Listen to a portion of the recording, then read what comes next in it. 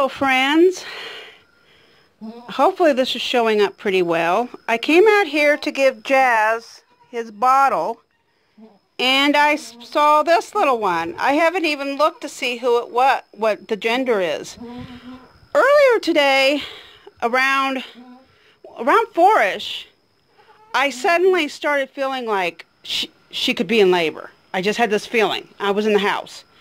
So I quickly got everything ready to come out here and I immediately came and checked on her and she was over in the corner over here just standing there but I couldn't see her back end or anything. And so I quickly went and fed all the other goats and milked Sydney I mean not Sydney um, Tiffany.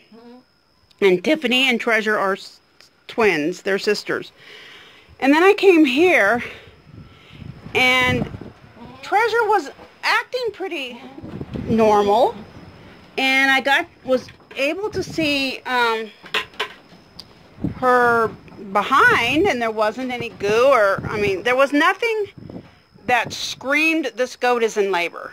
She was eating and everything. And I left like 5 o'clock or so. And now it's a little after 9 and this kid is all dry. Um, and has eaten. I mean, the kid has a full tummy.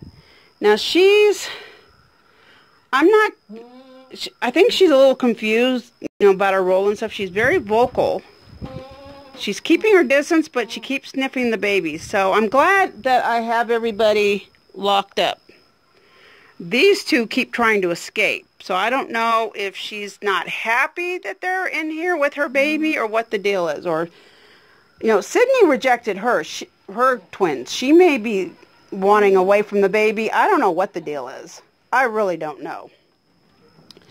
But Jazz got the bottle. I went to the house and I got molasses water. And they, all three have had molasses water. Um, I don't want any of these guys getting out. This one still needs um, some therapy. But I'm going to sit here. I'm going to turn this off for a second and see what the gender is. I think it's a girl. Um, it looks like a girl, but the um, rear end is kind of pushing out a little bit. I don't know. It looked kind of strange to me. We'll see in the morning, but I think it's a girl. So, um, I just wanted to share that little bit, um, that my last goat to kid has finally kidded.